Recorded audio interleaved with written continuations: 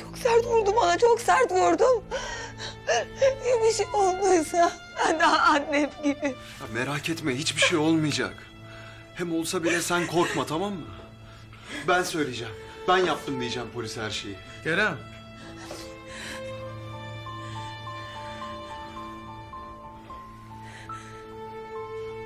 Öldürdün değil mi onu?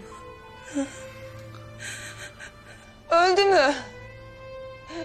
Öldürdüm onu, öldürdüm.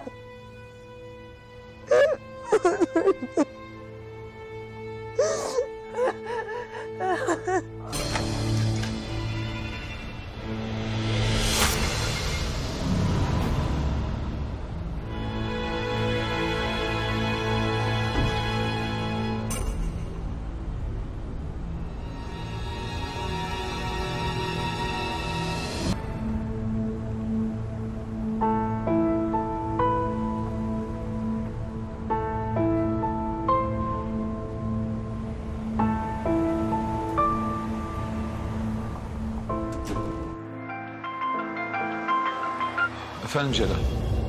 Heh kahraman. Durum ne kardeşim? Valla bilmiyorum kaçmış gitmiş. İnşallah bir şey yoktur. Nasıl kaçmış dede? Adam yaralı. Ya bir yerde düşüp ölse? Nasıl çıkacağız işin içinden? Kahraman Elif çok paniklemişti. Kızcağız hamile biliyorsun. Başından ayrılmayayım dedim o ara kaçmış gitmiş adam. Tamam. Sen Elif'e dikkat et. Ben yoldayım. Geliyorum az sonra. Tamam kardeşim.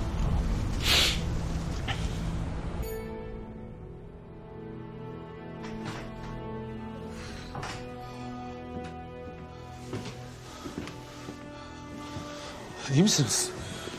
Kahraman Bey ben durdurmak istedim. Bu kadar kötü olacağını bilmiyordum. Kerem Bey'e zarar verecekti. Çok korkuyorum ben şimdi ne yapacağım? Tamam tamam. Korkmana gerek yok. Bir şey olmayacak. Adam zaten ayaklanmış gitmiş. Celal söylemediniz mi? Söyledik kardeşim ama haliyle korktu. Ben o adam yüzünden hapse girmek istemiyorum. Ya ona dışarıda bir şey olursa ne yapacağım o zaman? Hiçbir şey olmayacak. Hallolacak. Korkma. Tamam mı?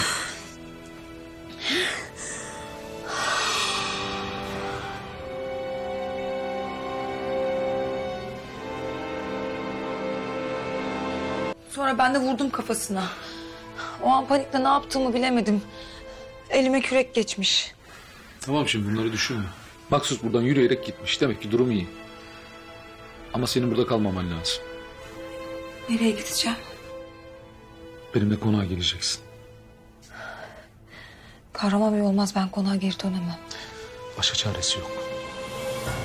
Bundan sonra sen de bebeğim de yanı başımdan gözümün önünden ayrılmanızı istemiyorum. İyi de konağa dönünce her şey daha zorlaşacak biliyorsunuz. Ben yanındayım. Korkma. Merak etme.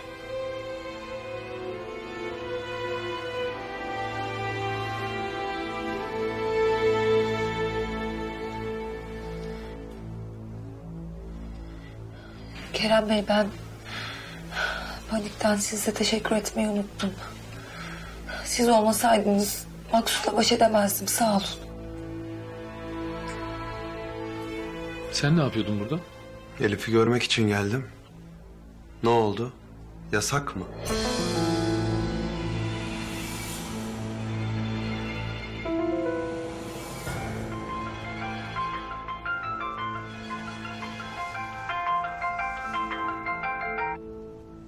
Efendim baba. Kahraman iyi misiniz oğlum? İyiyiz baba iyiyiz. Merak edilecek bir şey yok. O herif Elif'e torunuma bir şey yapmamış değil mi? Hayır baba ikisi de iyi. Oh çok şükür. Hiç vakit kaybetmeyin. Hemen Elif kızımı al konağa gel. Söyledim baba. Kabul etmedi. Malum konaktaki durumlar biraz çekindi.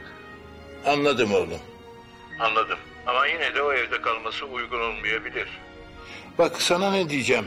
Sen Elif kızımı Şadiye'deki dağ evine götür istersen. Ben de öyle düşünmüştüm. Öyle yapacağım. İyi düşündün oğlum. Korkmuştur kız yanından ayrılma. Tamam baba. Ben bu gece onun yanında kalayım. Artık sonrasına bakarız. Hadi sen git eşyalarını hazırla.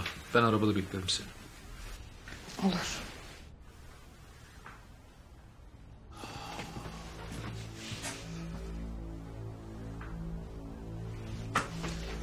Hadi bize gidelim. Tabii dayıcığım. Bir emriniz varsa söyleyin hemen yerine getirin.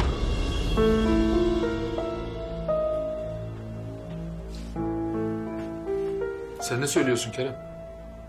Ben seni merak ettiğimden. Yolda arabada konuşuruz diye düşündüm. İyi misin? Ne oldu? Vay. Sen kendinden başkasını düşünür müydün kahraman Yörükan? Kerem, sen benimle nasıl konuşuyorsun? Ben ne yaptıysam sizin için... Sen ne yaptıysan kendin için yaptın. Bir imparatorluk kurmuşsun, bizi de köle gibi kullanıyorsun. Ama artık yeter. Herkese, her şeye sahip olamazsın kahraman Yörükan.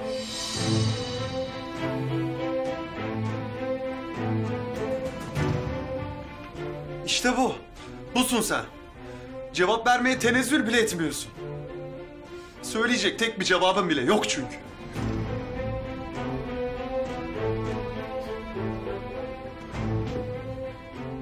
Baban gittiğinde sadece senin hayatın değil.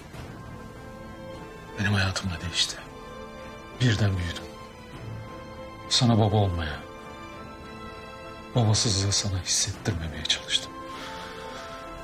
Kerem, senin doğacak olan çocuğumdan hiçbir farkın yok. Ben gerekirse senin için de, onun için de canımı veririm. Benim için tırnağını bile vermezsin sen.